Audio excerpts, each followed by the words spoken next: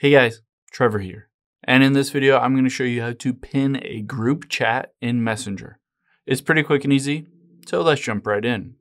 Now, let's open up Facebook Messenger here on your iPhone or Android. It doesn't matter.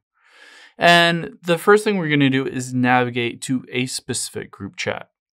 So let's say tap on this one between Haley and Barbara and myself. If I wanted to scroll up and pin a specific conversation or message, I can just tap and hold on it. And then I'm going to tap more here at the very bottom. And then I'm just going to hit pin. Now, the cool thing is it says pinned right next to it, and it has that little red pin on it.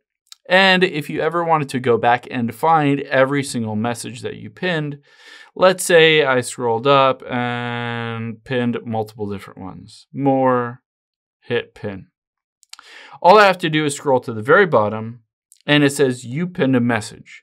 I can hit see all here and it will just filter out only the pinned messages in this group chat. Of course, I can see these if I ever wanted to just go back, or maybe there was a message that was a month ago or a year ago that you wanted to easily and quickly be able to go back and find it. You can always pin it so that you can navigate directly to it.